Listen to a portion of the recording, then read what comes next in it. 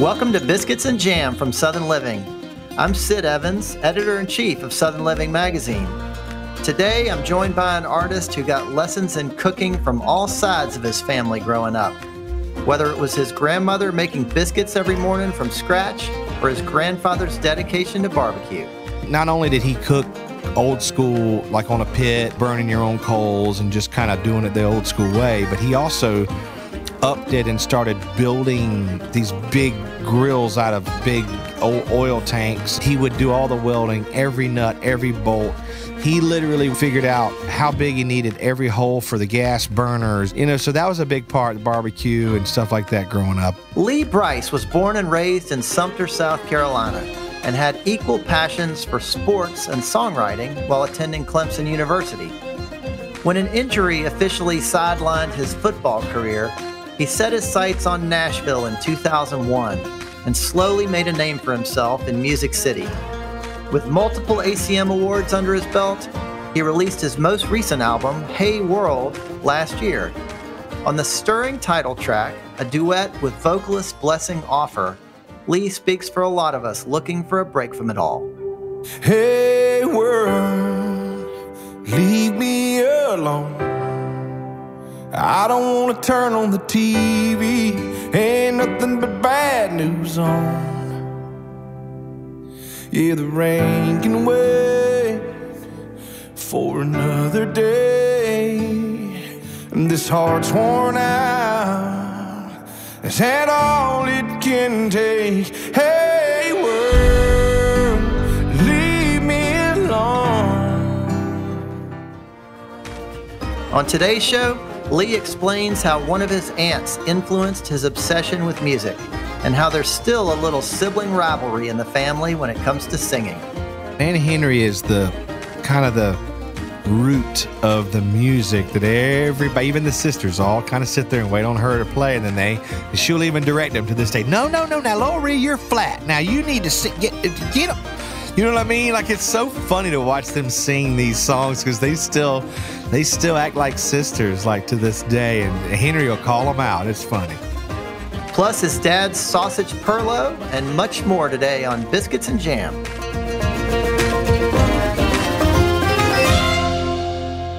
How you doing, Lee?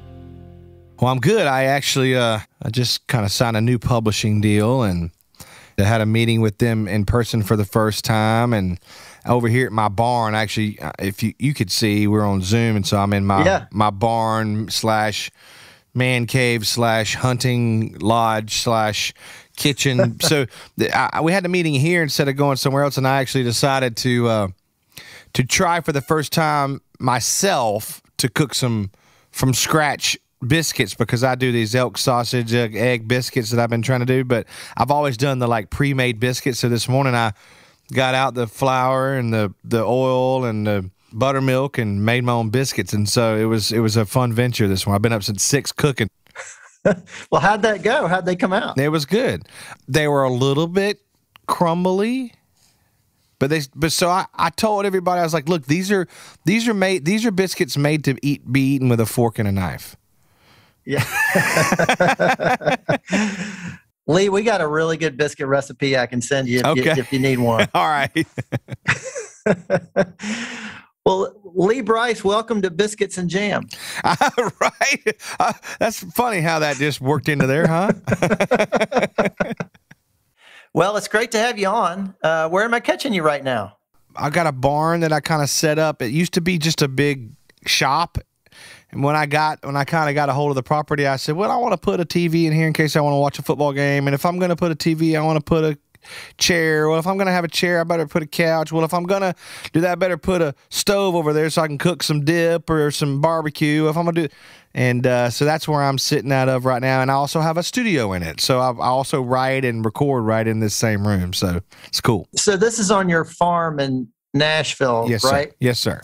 So Tell me a little bit about that farm. One of my best friends, Dallas Davidson, he's a huge songwriter. He's written uh, 20, 30 number ones in, in town. And he had this farm and he was going to go back home and write from home in Georgia. And he said, Man, you ought to just get my farm. And I came to it and I said, Man, I can't afford this thing. And But once I got here, I just felt some kind of energy. I said, no, I got to have it. So I figured out a way, got it. And then I found out all these stories. I actually realized about eight months later, after I'd been walking the property, knew every inch of it, I actually brought my band over for the end of the year kind of pig roast, and I had, you know, kind of give them a bonus and hang out with them and let's all do that. Well, my bus driver came up to me and he said, "Hey, man, I, this this this farm is, I mean, it's awesome, man. Congratulations." I said, "Thanks, man. I love it." He said, "Well, I didn't know you you bought the farm that we shot." The videos where I drive your truck and a woman like you on, and I went, "What?" Wow. It blew my mind. And all of a sudden, all the memories came flooding back. Because when you go shoot videos, you know, you go to a random place maybe and you don't really take in where you are. You're just working and you're kind of doing what you got to do.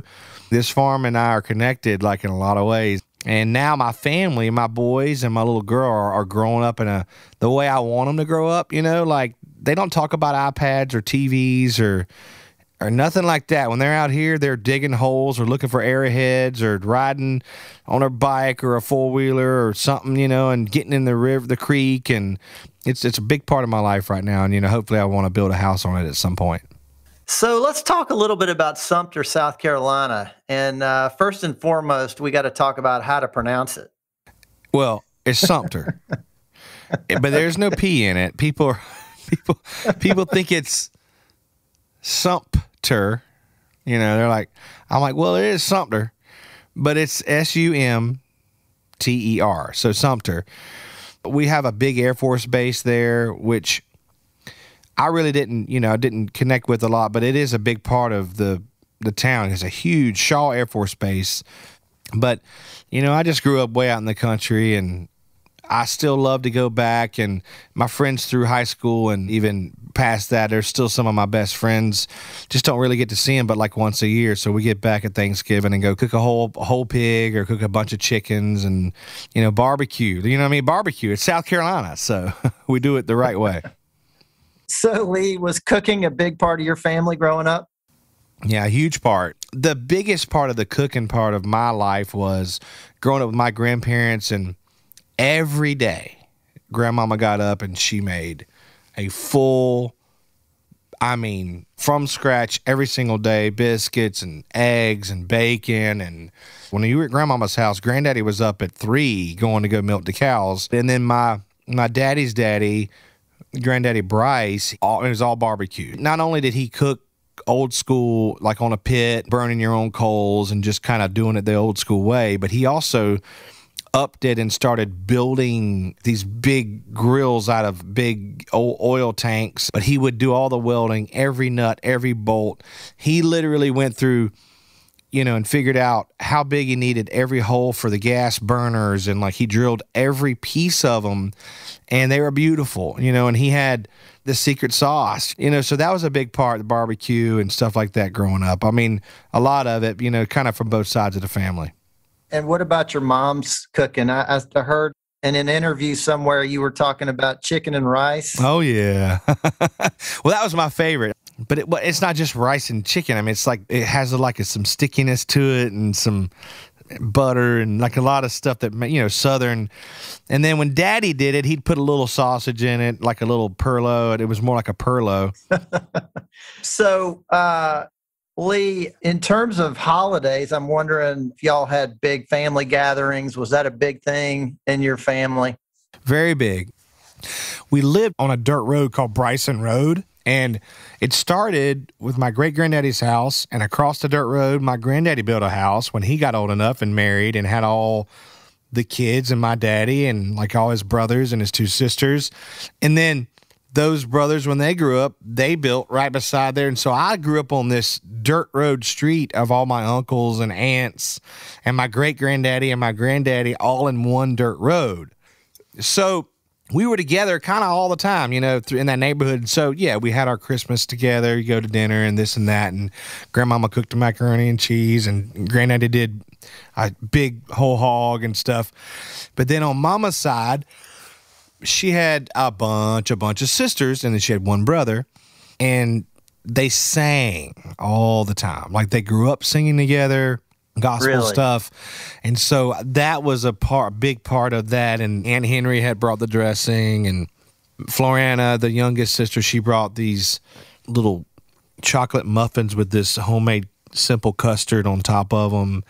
But it's like the tre- a treasure. Uh, and Daddy would cook a ham, and Uncle Al would cook a whole pig, and like you'd have barbecue there, and and a lot of those gatherings. I mean, we still do to this day. I go home one time a year, basically, for that.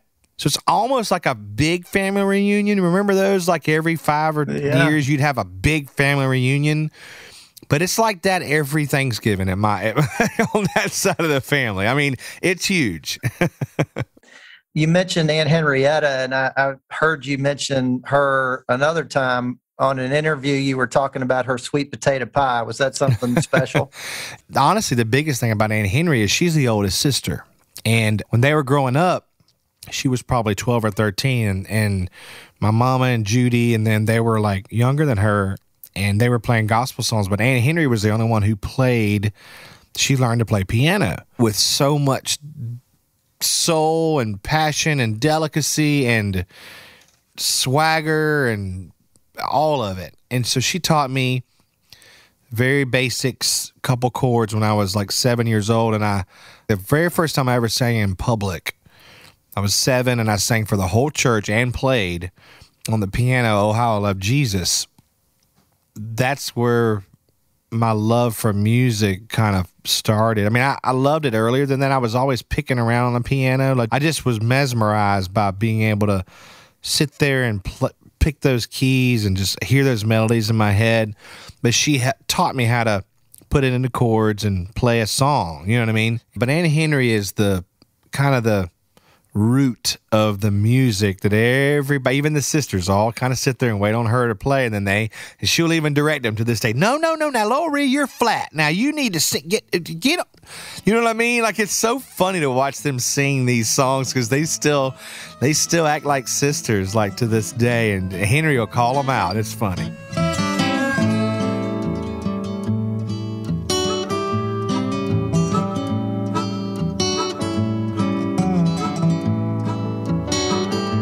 Well, Lee, I want to jump to Clemson for a minute. So you went to Clemson for college, you played football, and you know, you made a pretty dramatic transition from football to music. And I just want you to talk a little bit about how that Well- happened. Well, it wasn't really a transition. Um, my whole life, it was football and music. I mean, when I was 10 years old, I was writing songs. I mean, seriously writing songs. In my mind, as a 10 year old, I was very serious about what I was writing and playing. And football was also a huge passion of mine because, number one, I mean, I loved it, but my daddy, you know, he played football and he was so good. And he got recruited to play at Clemson, but he didn't go. He stayed home and had a family. And so I always had this thing in me that said, I'm going to play for Clemson one day. And so that kind of drove me through my, you know, middle school and high school years of really putting a lot of effort into football. And that was, you know, a humongous part of my life. Could have gone to a lot of other schools with better offers and this kind of stuff. But Clemson was where I was going no matter what. But the whole time, though, you got to remember, I was writing songs. Even when I was at Clemson, I was sitting in the instead of studying, I'd go to the stairwell where where it sounded all crazy up and down the hallway. And I'd sit there and play guitar and write songs for hours. And it got to be where there was this thing. People would come out and they'd sit on the stairway and study while I played for hours. I mean, there were people stacked above me, up floors and all the way down floors. So where they came in the afternoons when they knew I'd be out there when I when I got hurt at football and it was kind of done and I had I you know I met my goal. I played at Clemson. When I got hurt it it really felt more like a well, this is supposed to happen cuz now it's time for me to really do what I was kind of born to do and so I went and visited Nashville and it was it all just happened. I mean, it all just kept happening and so I, you, I know it seems like a big transition from a big burly football player to, to a guy singing love songs, but the truth is, I was doing both the whole time, like since I was 10. We'll have more with Lee Brice after the break.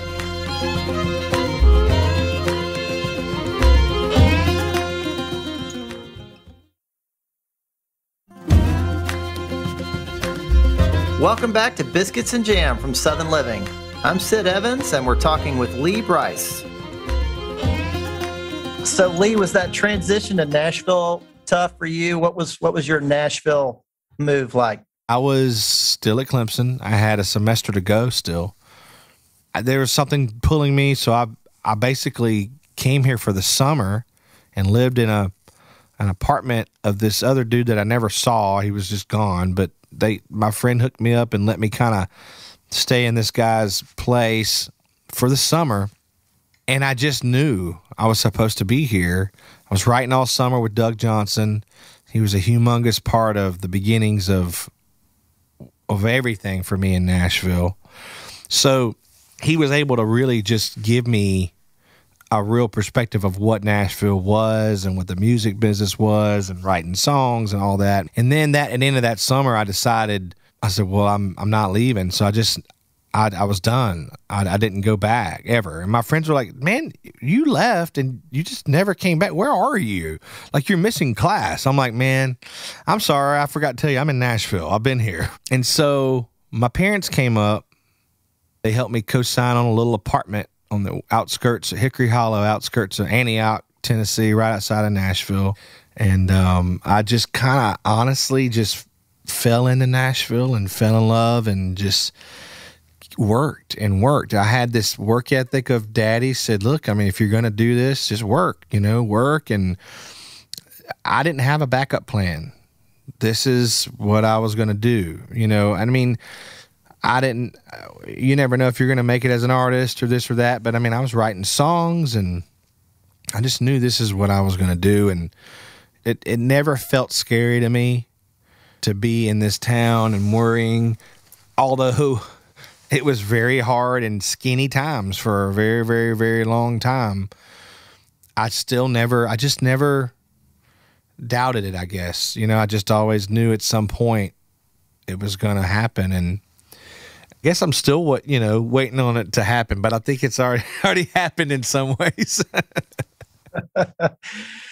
well, Lee, you've always been such a talented songwriter, but you know one of the songs that you really broke out with big time was a song called "I Drive Your Truck," which you mentioned earlier, and I'm just wondering why that song spoke to you so much and why you think it resonated in such a big way. I mean, it resonated because it's it's it's the song that it is. They just wrote it to the wall. It's it's just this magic song. In fact, the day I heard it, I was there. I was almost finished with my album at that time.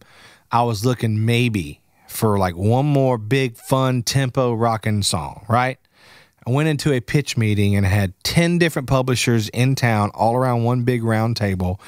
And we were going to go around that table three or four times and let them all play me songs. And I told them, all I need. I got the ballads, I got the love stuff, I got everything. All I need, all I want to hear is big rocking up tempo fun party whatever. That's what I want. that's what I need. So that's what they did. For an hour we sat there. And then the meeting was over and Rusty Gaskins, who's one of the best pluggers and just best people in this town. Pluggers, as in a person who runs a publishing company and like pitches songs to artists from his writers he said, "Man, I got this song." He said, "Do you do you have time for one more?" And he said, "But man, this isn't a tempo. This isn't like some." He said, "But I think it's the song of the year." And I was like, "Well, okay." so he play, he starts to play "I Drive Your Truck," and I got through the verse, and I don't even know if I made it to the very end of the chor- the first chorus, and I stopped it. I said, "Okay, I will record this song tomorrow." it's on hold. It's yes, there's so many things that happen with that song and so many stories with that song and even to this day how it kind of still affects me. And I don't just mean like it was a successful song and it was great, you know, in that way, but on a daily basis people have their own version of why that song meant so much to them. Uh, it's about a, this father was talking on the radio doing an interview and they were talking about um, his son who had died in, in battle, and he had died going back, trying to go back and save his friends over and over again. And so, as Connie Harrington was driving down the road, one of the co-writers on the song, she's listening to this interview, and the the person said, "So how do you deal with the fact that your son grew up wanting to be a soldier, right? And then he goes off and like early into his career, he's gone. He's taken from you. How do you deal with that?" And the father was like, you know, I honestly, I actually get in his truck and I drive around and everything is still like he left it. And I feel like I'm connected to him and I just, I just talk to him and, and ha- hang, that's where I feel like I'm still hanging out with him.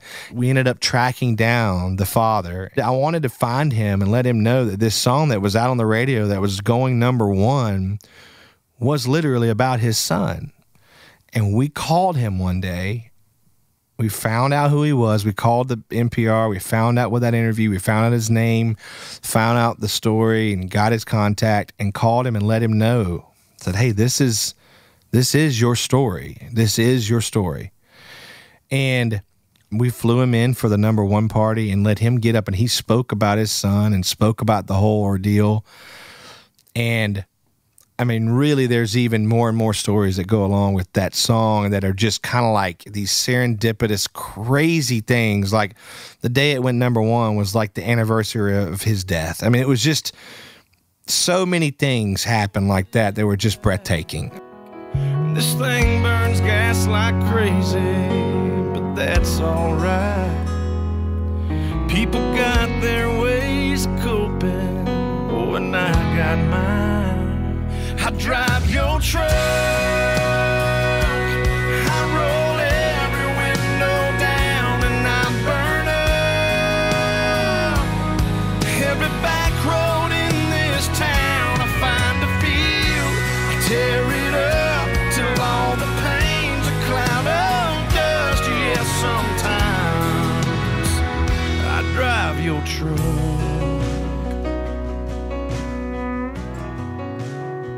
I want to talk about your new album a little bit, which just came out last fall. It's called Hey World.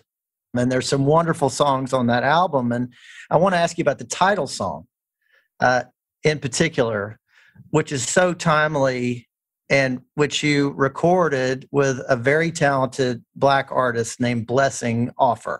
And he's been blind mm-hmm. for most of his life and I'm wondering if you can just tell me about that collaboration and and that song and how that came to be. Yeah, I mean, uh, early in kind of when the this whole pandemic and all kind of started, and everybody was really we didn't really know what was going on, and it was really kind of locked down and hardcore. Uh, I'd never really done a Zoom right, like we're zooming right now, right?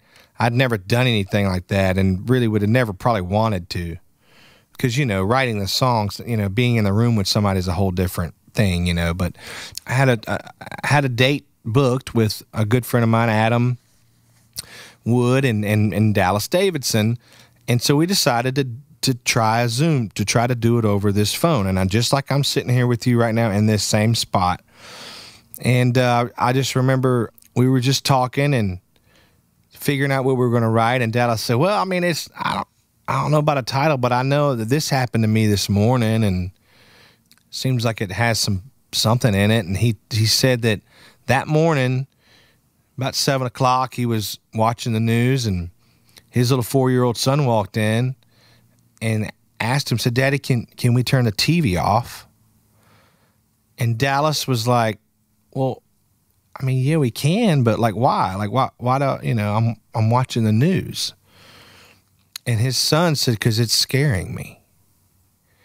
And it, Dallas said it just took me back. I'm like, well, heck, it's scary to see all these numbers and all this stuff and all this these questions for an adult, much less a a four year old. He said, so I, I immediately turned the TV off and realized that right in that moment. So he he said, all I got is this, hey world, leave me alone. And I don't want to turn on the TV, ain't nothing but bad news on. I said, Well, that's what we're writing. So we got into it, and yes, it came from that moment and from what was going on.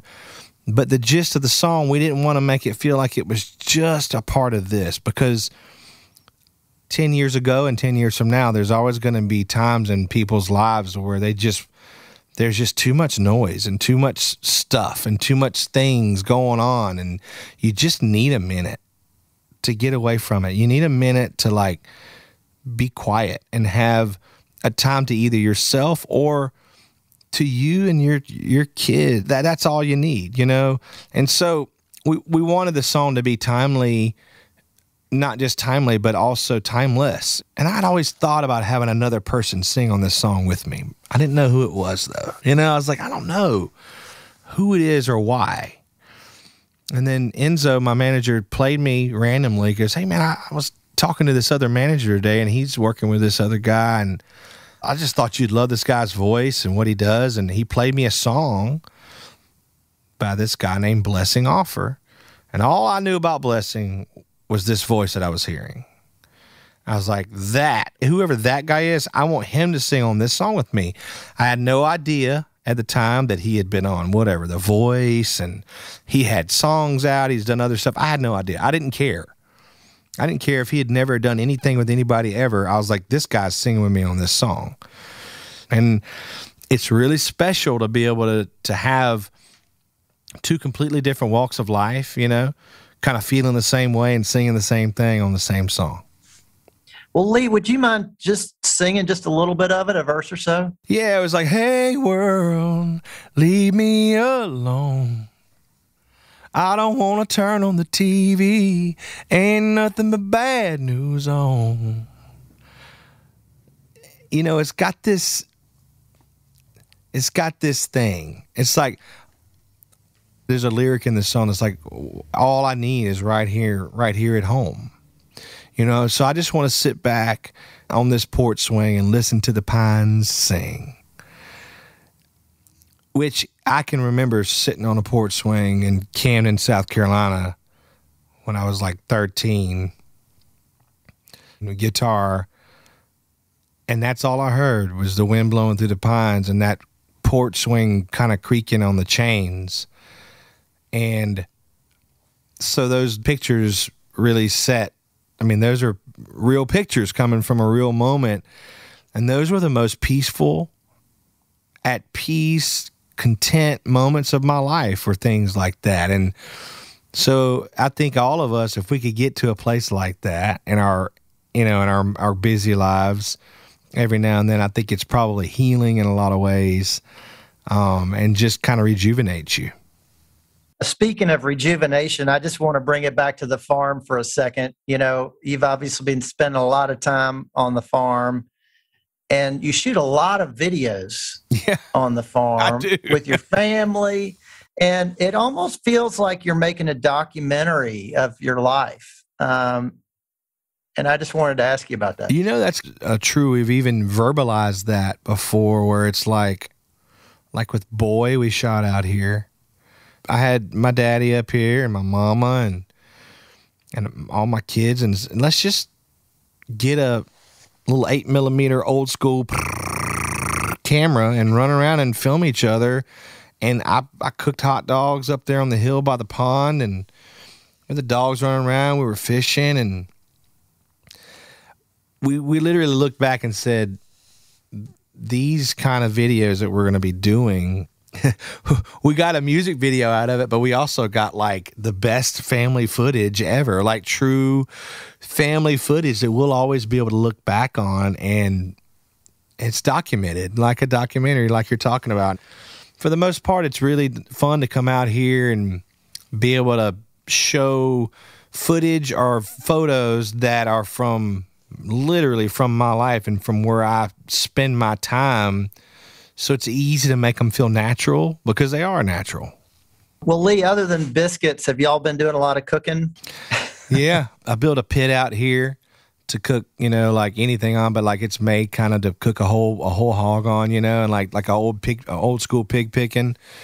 You know, I do a lot of wild game. You know, we have dove shoots, and we come out and we, you know, we do all that stuff. And uh, like today, I told you I cooked some elk biscuits. You know, elk and egg and cheese biscuits, and I made biscuits for the first time, like from scratch. And you know, I, I think they turned out pretty good. I'm gonna find out how to make them a little fluffier, but other than that, I did. I think I did pretty good for my first time. I mean, we cook a lot. My wife is amazing. She came from roots of, you know, Italian food. So she can do all that from scratch. And immediately we got married and she started just trying things and she'd make something she's never made before. And, and then she's really gotten healthy. And so she'll make turkey chili instead of but it's like still she figures out a way to make it all taste so good and she puts so much love into it that everything she makes even if it is really really really really really healthy like somehow she makes it awesome well if you had to come up with a last meal right now what what would it be and where would you want to have it oh man that's tough but i would probably say I'd probably say, you know, if I could get my family to come up here to this farm. You know, my mom and daddy and some aunts and stuff, and have daddy cook the chicken and rice, but more like the Perlo style. And then mama cooked my grandmother's macaroni and cheese, and maybe some really, really good collard greens. You know, and I know there's some meat in that chicken and rice, but a little bit of that my granddaddy's, which is now my daddy's and mine, I've been making of that barbecue, that would pretty much put me over the edge. Maybe some butter beans. That would, you know, I'm good to go. that sounds like a pretty good way to go out, Lee. yeah, buddy, it would be. I promise. Thanks for listening to my conversation with Lee Brice.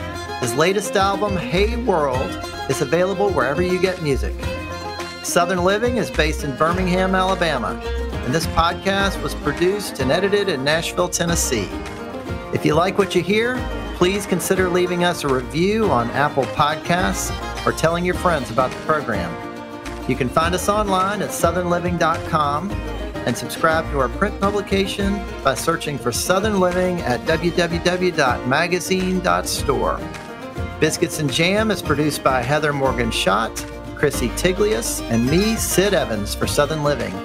Thanks also to Ann Kane, Jim Hankey, Danielle Roth, Matt Sav, Erica Wong, and Rachel King at Pod People. We'll see you back here next week for more biscuits and jam.